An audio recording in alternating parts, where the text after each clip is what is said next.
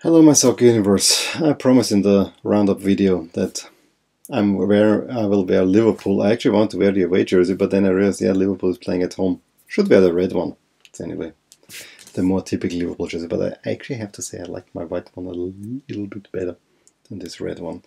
Um, it's a European week, so again, I don't need to really tell you what to watch because uh, either you have you can watch all the games or you watch your local team actually supports the team teams that you want or from your country. But I wanna point out a few games. We have actually um, Tuesday a pretty huge team playing early. That's Barcelona against Slavia. That might be an interesting one um, to have at the early kickoff. I personally looking forward to Napoli Salzburg. Um, quite some. I also think Chelsea Ajax could be interesting and Valencia Lille. I think those are really interesting games ahead. Um, and of course Dortmund Inter, but the first game was such a, snooze fest that I'm not so sure. But that's actually quite of a crucial game because if Inter can get at least a draw out of it, I think they are on the inside track moving forward. And then on Wednesday, it's also so and so. I think I would expect clear wins from PSG, Real Madrid, or even Bayern. Uh, Crvena Zvezda Tottenham, I have a asterisk. There might be something happening. Atalanta, maybe they can get back on track. Um, I'm also curious what Lok will do against Juventus, which is another early game. I think we have Bayern Munich and Juventus early on Wednesday. That's definitely interesting.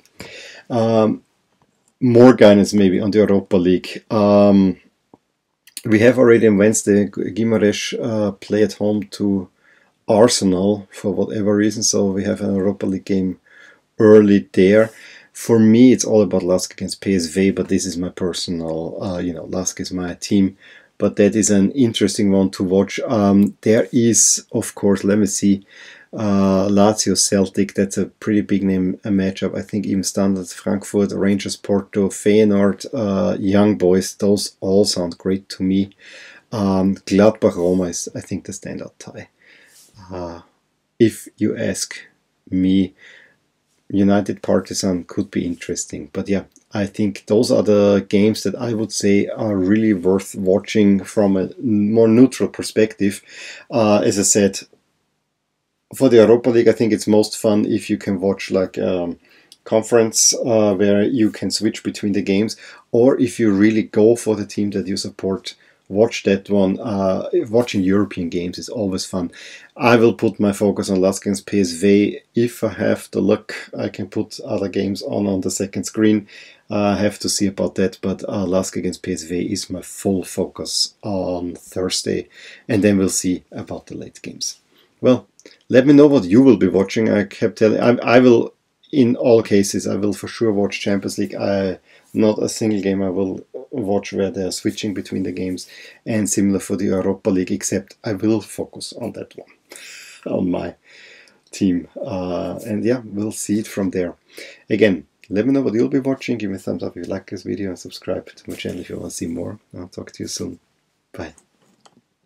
Hey there, I really hope you enjoyed this video and if you did, here are some videos or playlists that you might enjoy too.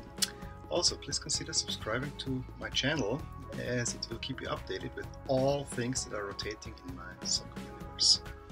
And with that, I'm gonna wish you a wonderful day. Bye.